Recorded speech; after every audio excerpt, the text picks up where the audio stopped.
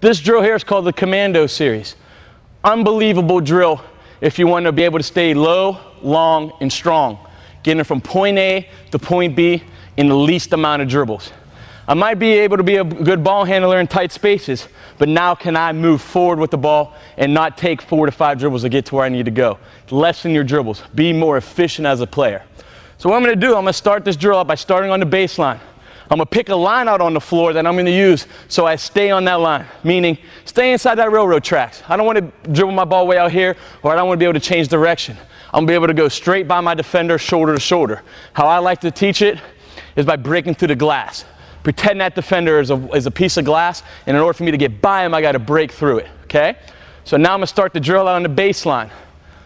I'm to chop my feet with three dribbles in my right hand going out. I'm to get one dribble to get to the elbow, jump stop, control myself, reverse pivot so I create space. Then I'm coming back with my left hand. Three hard dribbles, chopping my feet, one dribble back to the baseline.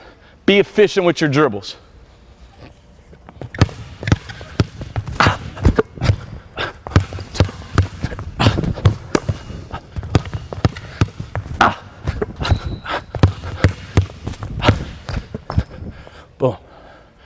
That drill there is really going to work your body, being able to extend your foot, have a long stride getting by your defender, staying inside the railroad tracks.